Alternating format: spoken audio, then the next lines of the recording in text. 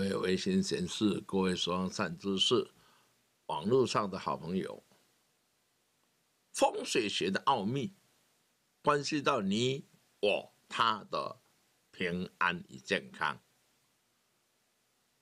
也关系到小社会的平安与健康，更关系到国家的平安与健康。有一句话叫“国富民强”。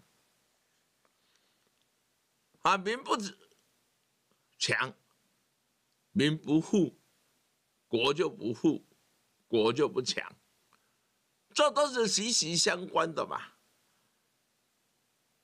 所以国家是由人民累积起来的一个大团体。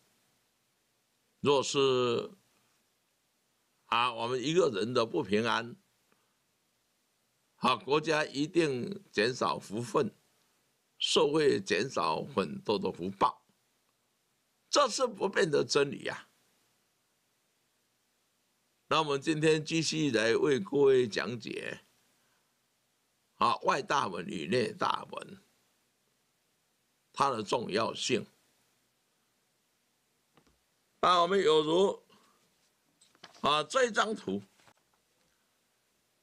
这张图呢，这是房子这么深。啊，你们在这边里面开虎门，这是内大门，外大门啊，虽然是中文，对他来讲也是龙门。这边呢，内门是龙门，站在外局哎，它是虎门哦，所以这个缺点就只消减了。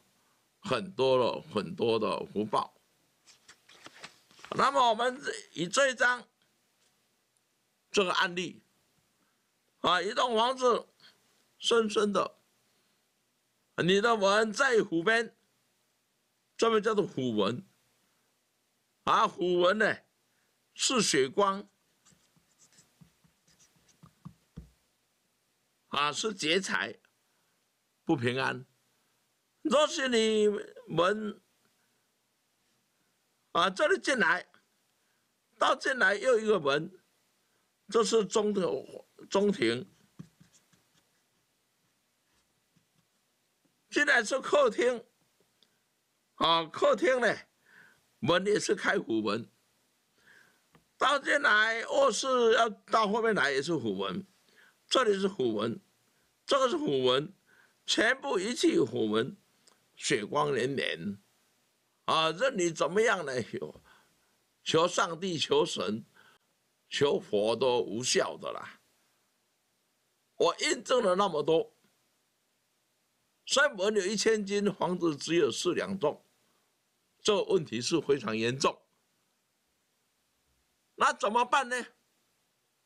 像这个门，这栋房子门在湖边。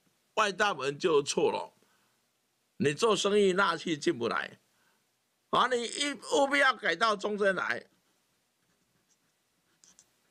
要改到中间来，这么拆除了，最起码你外面的外援，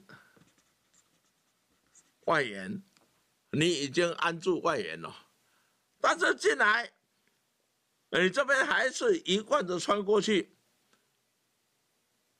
啊，白虎穿心，女人生病；啊，白虎穿心，全家生病，冷清清的家庭气氛，那怎么办？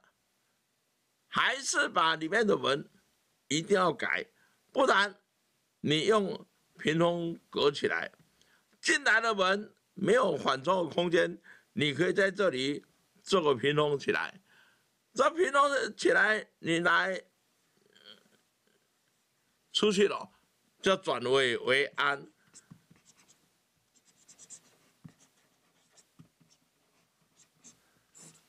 所以内门是家庭的平安，外人外门啊对外的顺利吉凶，各户相见呐！祝福各位。